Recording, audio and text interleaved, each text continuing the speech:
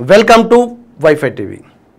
Federal front ఏర్పాటు చేయడంలో కేసీఆర్ తలమునకలయ్యాడు మొట్టమొదటి అడుగు కోల్కతా నుంచి మొదలెట్టాడు. కేసీఆర్ ఎంత మొండివాడో తెలంగాణ సాధించడంలోనే తెలిసిపోయింది. గత రెండు వారాలుగా కేసీఆర్ అదే పనిలో ఉన్నాడు. ప్రాంతీయ పార్టీలను ఏకం చేయడంలో మునిగిపోయాడు. మొట్టమొదట కోల్కతా చేరుకొని మమతా బెనర్జీని కలవడం ఆమె ఫెడరల్ ఫ్రంట్కి మద్దతు ఇవ్వడంతో కేసీఆర్ మిగిలిన అందరినీ కలుస్తానని ఒక ఆశావాదనని వ్యక్తం చేశాడు. గడిచిన నాలుగేళ్ళుగా చేస్తున్న పనులతో ప్రజలు విసిగిపోయారు.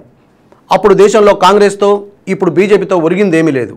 ఇప్పుడు దేశమంతా మరో కొత్త ప్రత్యామ్నాయం కోసం ఎదురుచూస్తోంది. అందుకోసం నేను ప్రతి ప్రాంతీయ పార్టీని కలుస్తా అందరి మద్దతు కోరుతాను. ఇదే సరైన సమయం అని కేసీఆర్ చెప్పారు.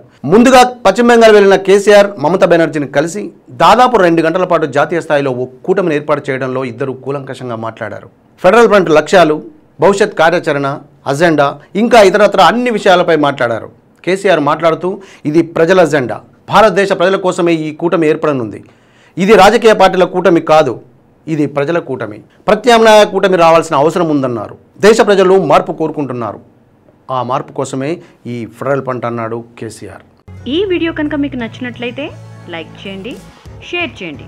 సబ్స్క్రైబ్ చేయడం మాత్రం మర్చిపోకండి. Please subscribe to WiFi TV.